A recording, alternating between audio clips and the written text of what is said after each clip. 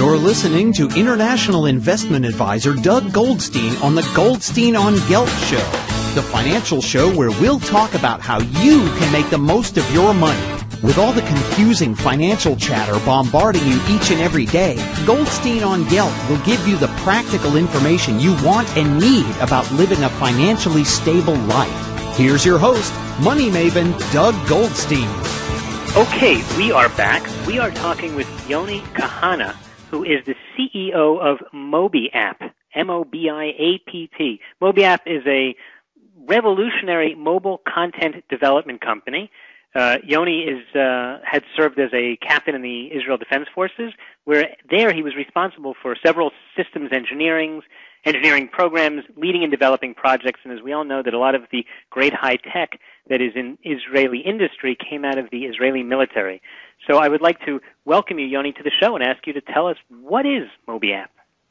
Thank you very much for the opportunity. Uh, well, MobiApp actually established two years ago. Me and my friend uh, established it in order to connect between people and location with their mobile and uh, with, of course, the Facebook. And the main niche that we are aiming to is the indoor location. What location? I'm sorry. Indoor location. Indoor location. Yes, that uh, I guess that everyone uh, knows that uh, there is a problem with GPS uh, location because in indoor the GPS probably won't be available, and a lot of time there is a problem that you won't get your accurate location and we uh, actually develop few solutions to give uh, some content to the mobile in this scenario that you are indoor and you want to know content that I will elaborate in a minute, and to connect between the people, the location itself, with the mobile, which is always on you, and we are using the Facebook as a platform that is uh, connecting people. So you've got a platform which uses Facebook, and two people who are both indoors are able to identify where each other is? No, no, not. This is not our.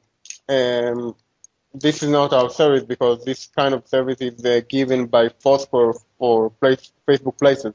What I, we are aiming to is actually when you get into the location and you log into our service, the main service is called Live Like. You're actually enabled to do like, you know, the Facebook like on items that you are seeing around. So actually, we are expanding the the uh, idea of Facebook that they are doing like on objects from the web that everybody know now to the real life. It means that you can do a like an object you see in real life. Well, you're saying again. I'm sorry. For those of us who aren't uh, big Facebook users, what does that mean? Well, the, today you can uh, surf in the internet. You can see web pages, and you, normally a lot of times you will see a like button. Like, like meaning like, I like this button. I like yeah, this website. Okay. Exactly. I mean, I like this website. It will uh, show. It will post it in your wall that you like your this uh, website. All your friends will see it. The website owner may add you to the fan, to his fan, that later on he can send you some content that may be relevant for you. And this day you are surfing in your on your web, and you can do the like action. But I want to take it a further step into the real world. I want you to take the mobile, walk around. You may see things that you like, okay, with your mobile, and you could do the same like as you do in your website, in your internet world, you can do in your real world. So now you'll be able to walk around, looking in your uh, mobile and see, hey, there is three items that are likable here, something like this rock, this statue, this shirt, okay, and I like it too. So I can do the same like that you do on your website. You can do it on real life. I see. So, so let, let, me just understand. So let's say that someone comes to my office, right? Come, walks into Profile Investments and says, "Wow, this is a great office. It's very beautiful." So he on his cell phone he types something. He says, "I like Profile Investments," and then that lets his people know, lets his friends know that he likes this office actually enter the, on his mobile to Live Like. Mm-hmm. Okay? Mm-hmm. He enter to Live Like. It may be an application in, in his uh, mobile phone or it may be a website. Just do Live Like. Okay? And then we will see the items which are likable around him. In your case, it will be exactly your office, your chair, your table, your portrait, I don't know, whatever you got in your office, and you will see the items that are is around, the items which are around him, and do the like, he can add this like that he like this thing without typing anything. Just enter the live like and see the items which are which are around him and do the like exactly like you're doing in your uh, in in the internet. And then his friend will see that he like the table in your office. Do you have to take a photograph of the item No. that you like? No, you don't have. If someone uh, took the photograph before you, okay, so you didn't create the item, you are just joining. You won't have to take the photo. If you want to to uh, actually create a new object that you are the first one to like it, then well, I ask you to take the photo. The application will ask you to take the photo. I see. So if there is, if if I'm walking down the street and I see uh, and I see a statue that I like that no one else has liked before, so I turn on, I go to with my cell phone, I go to live like, and I indicate that I like this statue, and then the system will tell me that no one's taken a photograph. Could I please take a photograph of that? Yes, exactly. And the, but the, if I go the same place uh, tomorrow and I will see the same statue, I will probably get a notification in my mobile that hey, there is a Dan like something here. Okay, I will look and I'll see that you like the statue, and I won't have to do the same creation because you did it yesterday. So I'll just join you and do the same like. Uh-huh. I got you. So what's the practical application of this? So the, from the user point of, of uh, point of view, well, actually the same mechanism that is uh, is familiar from the web, the doing like on some website that he li- see and like. The same thing will be in your real life. You will be able to walk in the street, walk in the store, walk in the everywhere, and do the like on things that you like. Okay. From the commercial point of view, commercial um, um, may use it to um, actually give into the public uh, notification that there are items that I want you to like. Like going into the kind of fashion show, a fashion shop, you will see that there are something like three shirts that you may like. Okay, and you can just do a like on a shirt that you like because the fashion shop uh, enable you to do the like on them. I see. So if you, let's say that someone goes shopping and goes into um, a clothing store and likes uh, a certain shirt, Yes. so he then, on or she, on her cell phone, she indicates that she likes this this shirt, and then all of, let's say, her friends say, "Oh, you know, Susie likes this shirt." on Gap. Say that again. Susie likes this shirt on Gap, for example. Uh huh. So then she, I understand. So this would hopefully, this, from the store's point of view, this would hopefully bring more shoppers into the store because they know that one of their friends liked the shirt and the rest of them may want to come and look at it.